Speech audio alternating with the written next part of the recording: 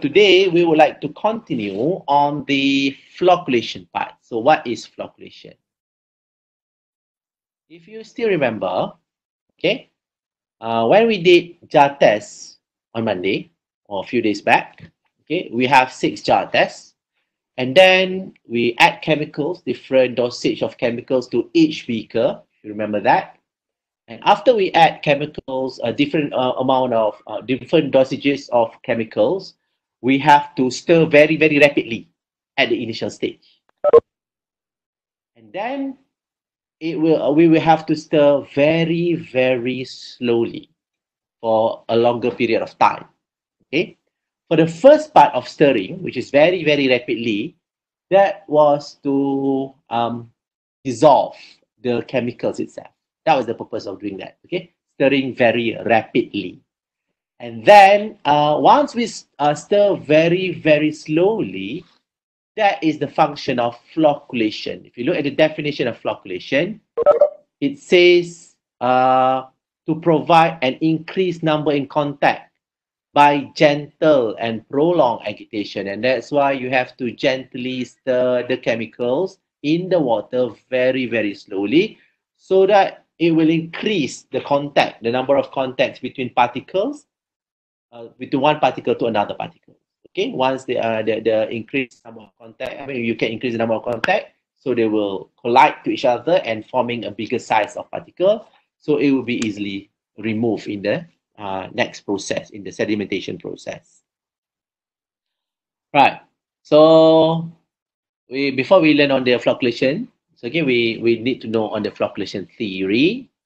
So the first important thing for you to know on the flocculation is you have to know the chem number. And chem number is GT.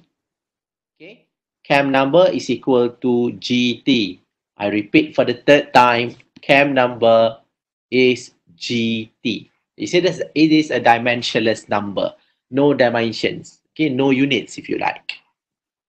Right. Um, Right. So what is G and what is T? So T is actually times in second, okay, or in minutes. Okay. So what do we mean by T?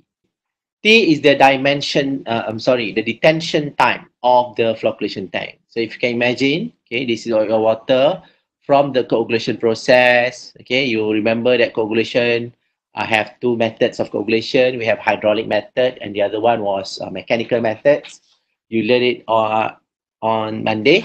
So that water from coagulation will go into the flocculation tanks. So this is the flocculation tank. And then it will goes out, it will go out to the sedimentation tank. Okay. The time or the period for the water to stay in this flocculation tank can be symbolized as T. Okay. Sometimes we call uh, we call it as time. Sometimes they call it as detention time. And sometimes they call it as retention time they are all the same. So that is T, the, the, the, the duration for the water to be uh, staying in the tank. So that is T. So now, does anyone know what does uh, G velocity gradient mean? So now I like to make an analogy. Imagine this is a, a lecturer driving a car, going for a lecture.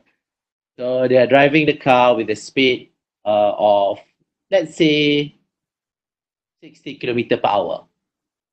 Okay, 60 kilometer per hour. So I have already made a, um, uh, I have already changed the speed to meter per second, which is 16.7 meter per second.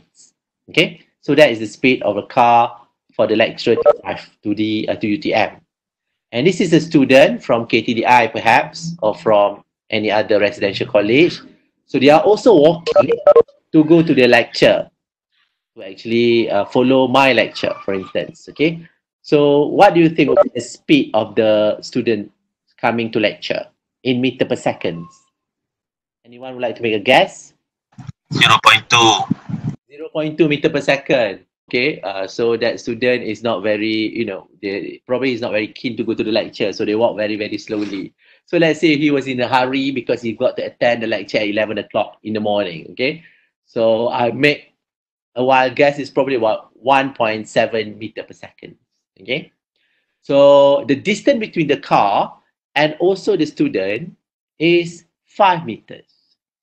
So when we talk about velocity gradient, is actually the differences between the speeds of the particles or the speed of these objects divided by the distance between the particles.